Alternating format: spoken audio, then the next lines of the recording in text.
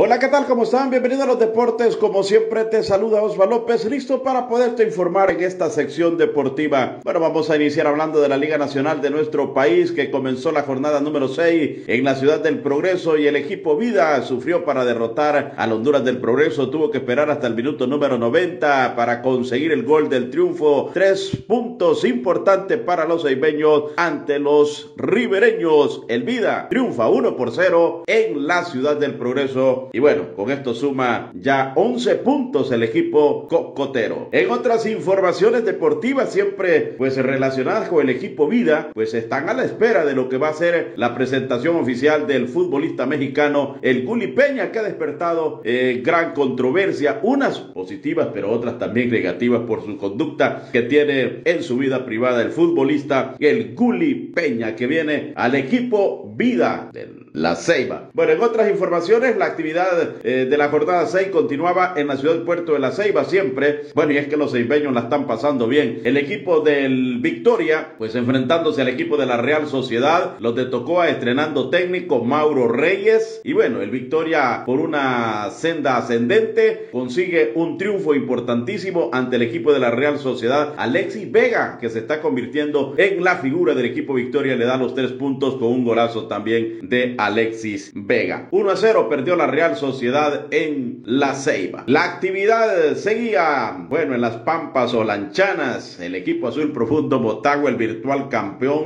del fútbol hondureño, se presentaba al Juan Ramón Brevé de Juticalpa y el equipo motagüense pues va a lograr un triunfo también apretadito, pero lo ganó Eddie Hernández, el hombre que hizo el gol para los motagüenses y reaccionó bastante molesto el presidente del equipo Potros, pues en este caso Samuel García por el arbitraje. Consideran que le anularon un gol. Dice, miramos más de 10 veces la repetición y es un gol válido. Sin embargo, para el árbitro no lo fue y perdimos 1 por 0. Samuel empieza con sus declaraciones polémicas y bueno, hay que pagar el derecho a piso, ¿verdad? En la Liga Nacional ya es otro pisto, don Samuelito. En otras informaciones, el Olimpia se impuso por el marcador de dos goles por cero y mantiene el liderato y el invicto, ¿verdad? A los Lobos de la UPN, que bueno, Lobos de la UPN es uno de los equipos que han comenzado muy mal en este torneo están agarraditos de la mano con el equipo de la Real Sociedad. Solo tienen un triunfo, tres puntos y ambos comparten el último lugar, ¿verdad? Y para cerrar con broche de oro la jornada número 6, el partido entre Real España y el equipo Maratón lo ganaron los catedráticos que están jugando un buen fútbol en este momento. Y bueno, se impusieron dos goles por cero ante el equipo del Maratón que hizo debutar al futbolista de la polémica por la convocatoria a la selección. Hablamos de Francisco Martínez que debutó y bueno, y al final eh, gustó el futbolista que tiene capacidad, ¿verdad? Bueno, ya en la Liga Nacional, entonces a mitad de semana tendremos partidos miércoles y jueves. Se va a jugar la jornada número 7. En la Liga de Ascenso, el Sabano participó en la actividad de este fin de semana, pero sí tendrá que participar la próxima semana allá en la cabecera departamental de Lloro. Se va a enfrentar al Lloro. Los resultados que se dieron, el equipo Boca Junior de local consiguió eh, vencer 3 por 1 al Lloro FC, mientras que el Social Sol de visita venció dos goles por uno al Club Deportivo Alvarado. La jornada para este fin de semana Social Sol, sábado 7 de la noche recibe al Boca Junior en Olanchito y el Lloro a esa misma hora, 7 de la noche, en la cabecera departamental de Lloro recibe al Sabá. Es decir, los lloreños contra los coloneños se enfrentan en la próxima jornada 3 de la Liga Nacional. En la Liga Gilberto Medina,